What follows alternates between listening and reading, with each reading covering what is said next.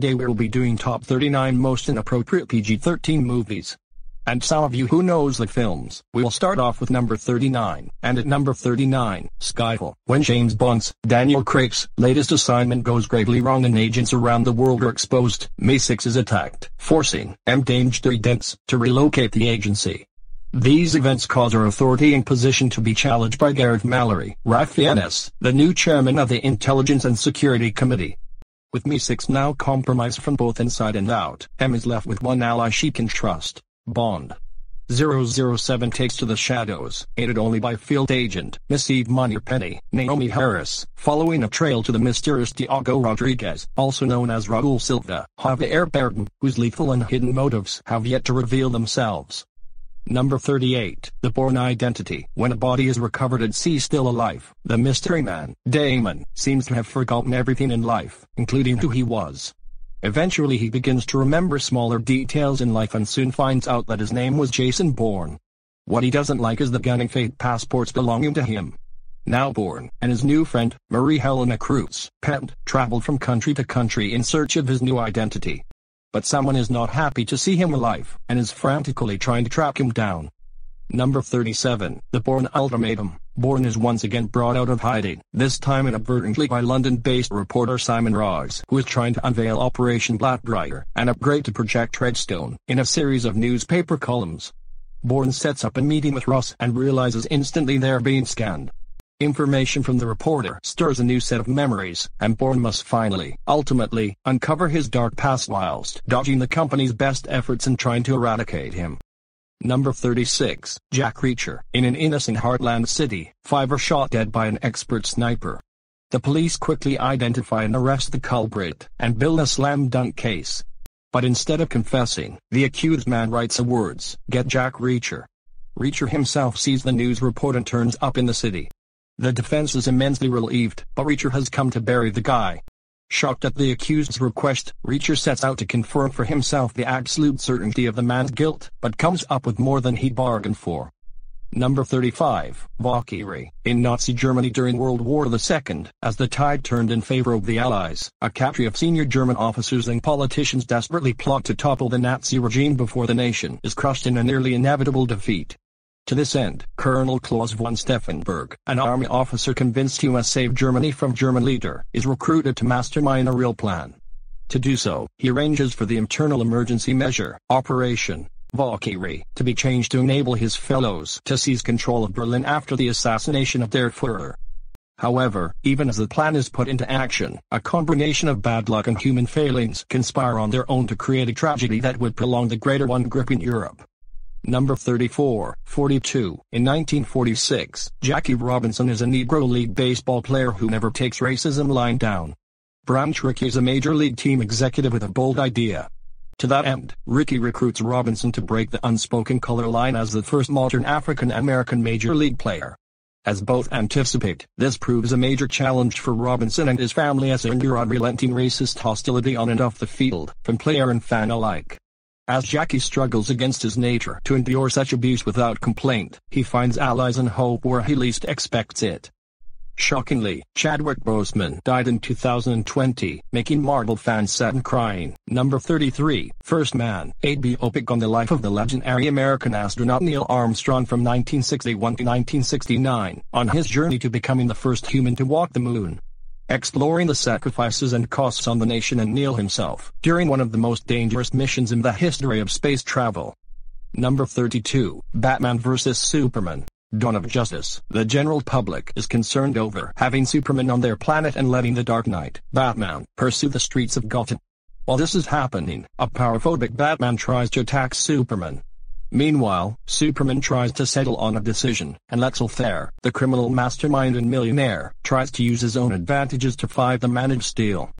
But, Superman sacrificed himself in order to save his mother, Metropolis, Batman and Wonder Woman from Doomsday Lex Luthor, but he's revived in Justice League and Zack Snyder's Justice League, even though the Zack Snyder's cut was rated R. Number 31, Selma. The unforgettable true story chronicles the tumultuous three-month period in 1965, when Dr. Martin Luther King, Jr. led a dangerous campaign to secure equal voting rights in the face of violent opposition. The epic march from Selma to Montgomery culminated in President Johnson signing the Voting Rights Act of 1965, one of the most significant victories for the civil rights movement. Director Ava DuVernay Selma tells the story of how the revered leader and visionary Dr. Martin Luther King, Jr. and his brothers and sisters in the movement prompted change that forever altered history. Number 30, 28 Days. New York-based writer Gwen Cummings knows that she drinks a lot but doesn't believe it's a problem, and as she decides that it is an issue that she could stop drinking on her own. She and her live-in boyfriend Jasper fuel each other's hyperactivity with this excessive alcohol consumption. A normal life is not in either's vocabulary. Between Gwen and her older straight-laced sister Lily, Gwen more closely resembles their larger-than-life mother, who was also an alcoholic and who died because of that when they were children. Lily believes that Gwen's addictions makes her a difficult if not impossible person to love. While Gwen is in a drunken stupor at Lily's wedding, Gwen causes one issue after another, ruining the day for Lily. Gwen is forced to examine her drinking with the culmination of bad events she caused at the wedding, leading to her being court-ordered to enter into rehab or jail for 28 days, which is only marginally more tolerable an idea to her than the alternative, which is jail. For Gwen to make any progress, she has to acknowledge that she has a problem which requires the support during those 28 days not only of the facility staff, but also the other patients, each who is going through his or her own issue with respect to the demons of addiction. If she does eventually acknowledge the problem, she will also have to reconcile the events of her life with Lily, and come to the realization that a life with Jasper is not in her best interest if she has any chance of surviving outside of the facility after those 28 days. However, I hate this film because this film keeps 38% on Rotten Tomatoes. Number 29, Barbershop. A Day in the Life of a Barbershop on the South Side of Chicago. Calvin, who inherited the struggling business from his deceased father, views the shop as nothing but a burden and waste of his time. After selling the shop to a local loan shark, Calvin slowly begins to see his father's vision and legacy and struggles with the notion that he just sold it out. The barbershop is filled with characters who share their stories, jokes, trials and tribulations. In the shop we find Eddie, an old barber with strong opinions and no customers. Jimmy is a highly educated barber with a superiority complex who can't stand Isaac, the new, white barber who just wants a shot at cutting some hair. Ricky's an ex-con with two strikes against him and is desperately trying to stay straight. Terry's a hard-edged woman who can't seem to leave her two-timing boyfriend. And lastly Dinka, a fellow barber who is madly in love with Terry but doesn't get the time of day. Number 28, Salt. Evelyn Salt is a CIA agent and highly respected by all, including her boss, Ted Winter. Out of the blue, a Russian spy walks into their offices and offers a vital piece of information. The president of Russia will be assassinated during his forthcoming visit to New York City to attend the funeral of the recently deceased U.S. vice president. The name of the assassin, Evelyn Salt. Concerned about the safety of her husband, who she cannot contact, she goes on the run. Winter refuses to accept that she is a mole or a double agent but her actions begin to raise doubts. Just who is Evelyn Salt and what is she planning? Number 27, Kong. Skull Island. A washed-up monster chaser convinces the U.S. government to fund a trip to an unexplored island in the South Pacific. Under the guise of geological research, the team travels to Skull Island, Upon arrival, the group discover that their mission may be complicated by the wildlife which inhabits the island. The beautiful vistas and deadly creatures create a visually stunning experience that is sure to keep your attention. Number 26, Adventures in Babysitting. Chris Parker agrees to babysit after her boyfriend, Mike Todwell, stands her up. Expecting a dull evening, she settles down with three kids for a night of TV and boredom. But when her frantic friend, Brenda, calls and pleads to be rescued from the bus station in downtown Chicago, the evening soon explodes into an endless whirl of hair-raising adventures. Chris and the kids leave the safe suburban surroundings and head for the heart of the big city, never imagining how terrifyingly funny their expedition will become. Number 25, Deepwater Horizon. In April 2010, there's no oil exploration operation in the Gulf of Mexico to compare with the Deepwater Horizon oil rig with its size or sheer depth of its drilling.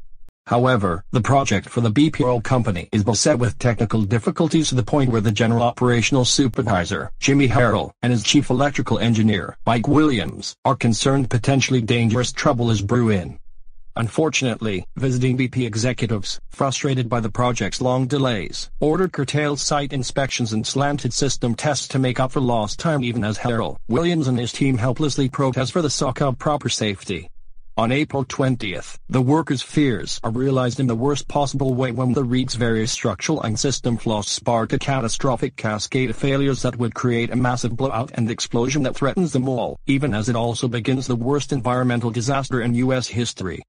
Number 24, The Butler. Cecil Gaines was a sharecropper's son who grew up in the 1920s as a domestic servant for the White family who casually destroyed his Eventually striking out on his own, Cecil becomes a hotel valet of such efficiency and discreetness in the 1950s that he becomes a butler in the White House itself. There, Cecil would serve numerous U.S. presidents over the decades as a passive witness of history with the American civil rights movement gaining momentum even as his family has troubles of its own. As his wife, Gloria, struggles with her addictions and his defiant eldest son, Louis, strives for a just world, Cecil must decide whether he should take action in his own way Number 23, The Hate You Give. Starr Carter is constantly switching between two worlds. The poor, mostly black, neighborhood where she lives and the rich, mostly white, prep school she attends. The uneasy balance between these worlds is shattered when Starr witnesses a fatal shooting of her childhood best friend Khalil at the hands of a police officer.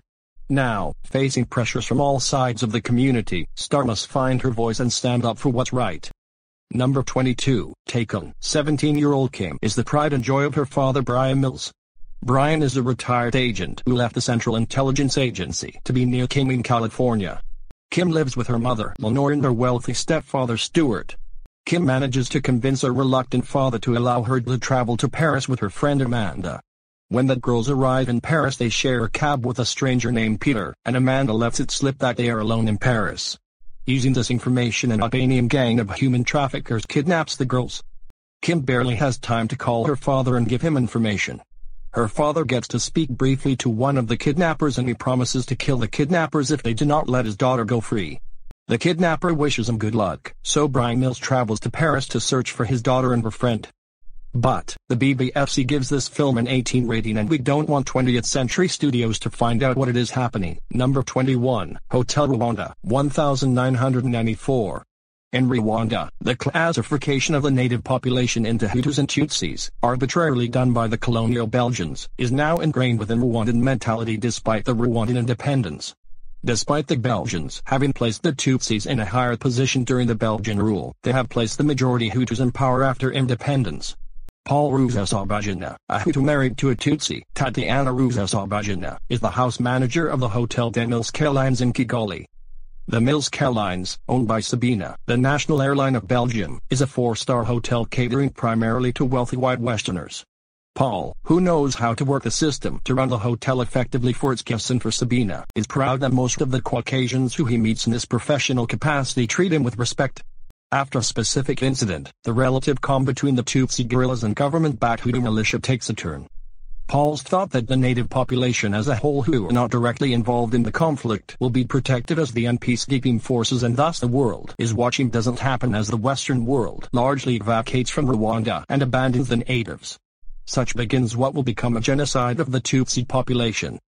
Paul, who is able to get his immediate family to the hotel which is still largely seen as a place of sanctuary, will have to use the considerable skills he has used to run the hotel as well as he has instead to keep himself, his family and any others taking refuge at the hotel alive, whether they be Hutu or Tutsi.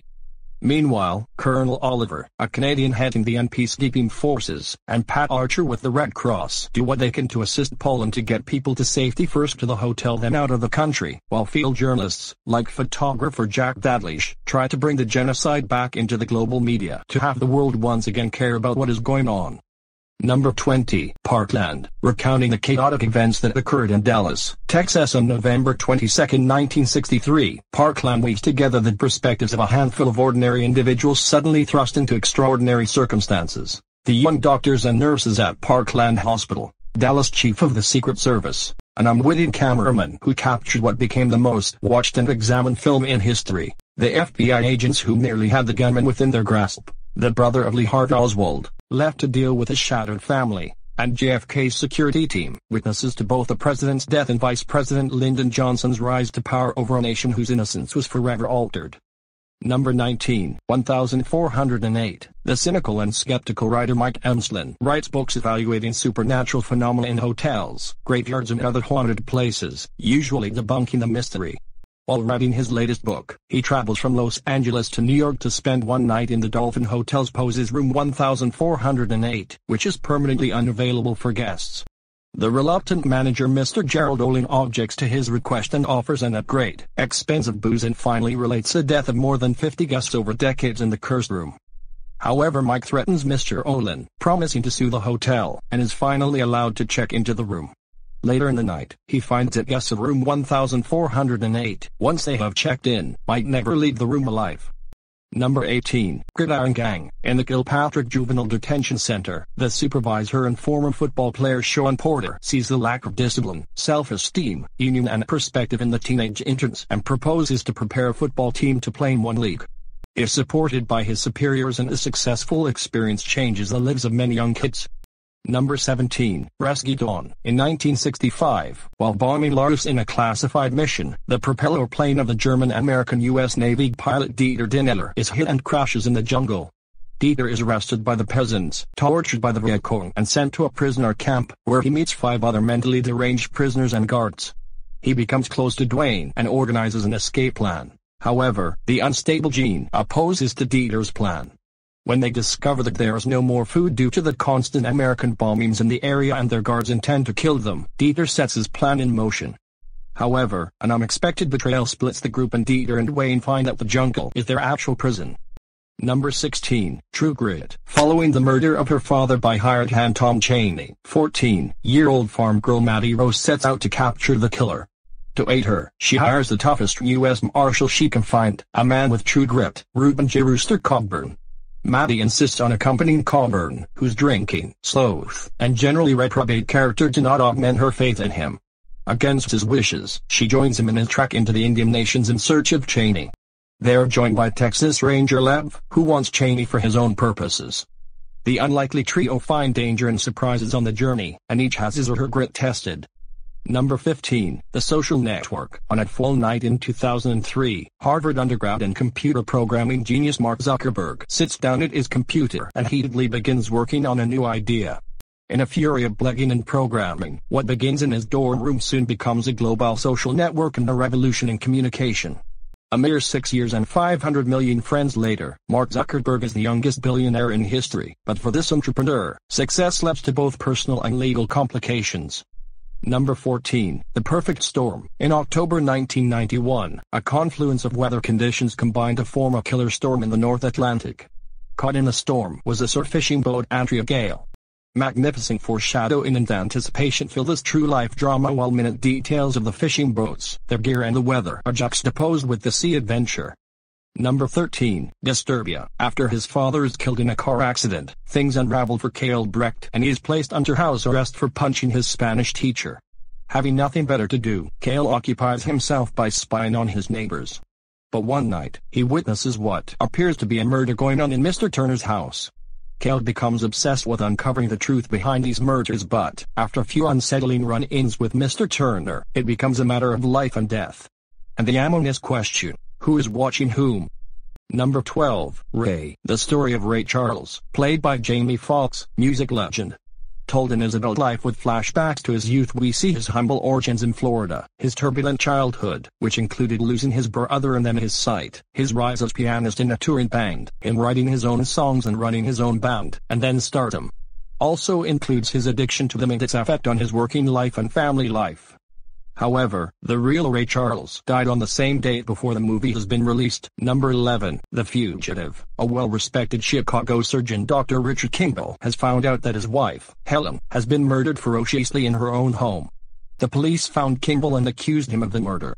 Then, Kimball, without justifiable reason, was tried, convicted, and sentenced to death. However, on the way to prison, Kimball's transport crashed.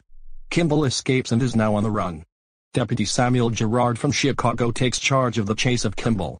Meanwhile, Kimball takes up his own investigation to find who really killed his wife, and to lure Gerard and his team into it as well.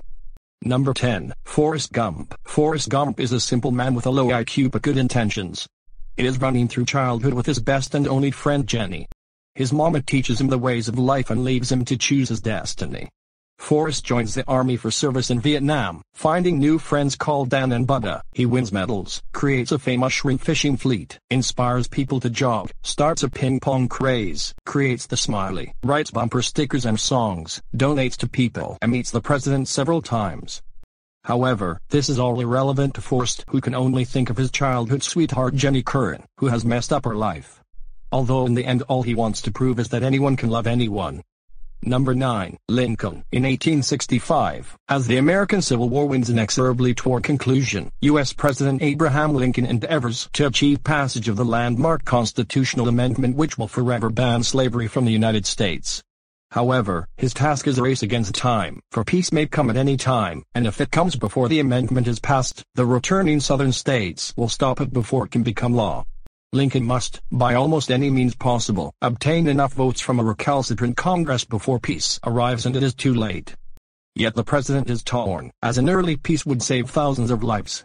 As the nation confronts its conscience over the freedom of its entire population, Lincoln faces his own crisis of conscience, end slavery end the war.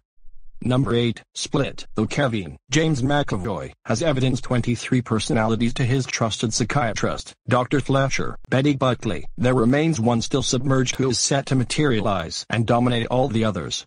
Compelled to abduct three teenage girls left by the willful, observant Casey, Kevin reaches a war for survival among all of those contained within him, as well as everyone around him, as the walls between his compartments shatter. Number 7, Master and Commander. The Far Side of the World. In April 1805 during the Napoleonic Wars, HMS Surprise, a British frigate, is under the command of Captain Jack Aubrey. Aubrey and the Surprise's current orders are to track and capture or destroy a French privateer named the Acheron. The Acheron is currently in the Atlantic off South America headed toward the Pacific in order to extend Napoleon's reach of the wars. This task will be a difficult one as Aubrey quickly learns in an initial battle with the Acheron that it is a bigger and faster ship than the Surprise, which puts the Surprise at a disadvantage. Aubrey's single-mindedness in this seemingly impossible pursuit puts him at odds with the Surprise's doctor and naturalist, Stephen Maturin, who is also Aubrey's most trusted advisor on board and closest friend facing other internal obstacles which have resulted in what they consider a string of bad luck. Aubrey ultimately uses mature scientific explorers to figure out a way to achieve his and the ship's seemingly impossible goal. Number 6. Malcolm X, biographical epic of Malcolm X, the legendary African-American leader. Born Malcolm Little, his father, a Garvey Baptist minister, was killed by the Ku Klux Klan. Malcolm became a gangster, and while in jail discovered the Nation of Islam writings of Elijah Muhammad, he preaches the teachings when let out of jail, but later on goes on a pilgrimage to the city of Mecca. There he converts to the original Islamic religion and becomes a Sunni Muslim and changes his name to El-Hajj Malik al-Shabazz. He is assassinated on February 21, 1965 and dies a Muslim martyr. However, Malcolm X is 3 hours and 22 minutes, which was also stands for 201 minutes. Number 5, Mission Impossible. Fallout. Two years after Ethan Hunt had successfully captured Solomon Lane, the remnants of the syndicate have reformed into another organization called the Apostles. Under the leadership of a mysterious fundamentalist known only as John Lark, the organization is planning on acquiring three plutonium cores. Ethan and his team are sent to Berlin to intercept them, but the mission fails when Ethan saves Luther and the Apostles escape with the plutonium. With CIA agent August Walker joining the team, Ethan and his allies must now find the plutonium cores before it's too late. Number 4, Dunkirk, May-June 1940. 400,000 British and French soldiers are holed up in the French port town of Dunkirk. The only way out is via sea, and the Germans have air superiority, bombing the British soldiers and ships without much opposition. The situation looks dire and, in desperation, Britain sends civilian boats in addition to its hard-pressed navy to try to evacuate the beleaguered forces. This is the story, seen through the eyes of a soldier amongst those trapped forces, two Royal Air Force fighter pilots, and a group of civilians on their boat, part of the evacuation fleet. Number 3, Million Dollar Baby. Wanting to learn from the best, aspiring boxer Maggie Fitzgerald, Hilary Swank, wants Frankie Dunn, Clint Eastwood, to train her. At the outset, he flatly refuses saying he has no interest in training a girl. Frankie lives a lonely existence, alienated from his only daughter and having few friends. Maggie's rough around the edges, but shows a lot of grit in the ring and he eventually relents. Maggie's rough around the edges, but shows a lot of grit in the ring and he eventually relents. Maggie not only proves to be the boxer he always dreamed of having under his wing, but a friend who fills the great void he's had in his life. Maggie's career skyrockets, but an accident in the ring leads her to ask Frankie for one last favor. Number 2, The Dark Knight, set within a year after the events of Batman Begins, 2005. Batman, Lieutenant James Gordon, and new District Attorney Harvey Dent successfully begin to round up the criminals that plague Gotham City, until a mysterious and sadistic criminal mastermind known only as the Joker appears in Gotham, creating a new wave of chaos. Batman's struggle against the Joker becomes deeply personal, forcing him to confront everything he believes and improve his technology to stop him. A love triangle develops between Bruce Wayne, Dent, and Rachel Dawes. However, Heath Ledger died in 2008 leaving his fans cries into tears, and here comes the number one, was Get On Up. En route to the stage, singer James Brown recalls a life with a turbulent childhood where music was his only constructive release for his passions. A chance demonstration at Letton Prison led to a new friend who helped get him out and into a musical career. With his fire and creative daring, Brown became a star who defiantly created new possibilities and showed business both on and behind the stage in face of racism and conventional thinking. Along the way, James would also become a peacemaker who redefined and raised the African American community's feeling of self-worth when it was needed most. However, those same domineering passions would leave James Brown alienating everyone around him as his appetites became ever more self-destructive. Only after he hit rock bottom with a serious mistake does Brown realize what he needs to, to make his life as the godfather of soul truly worthwhile.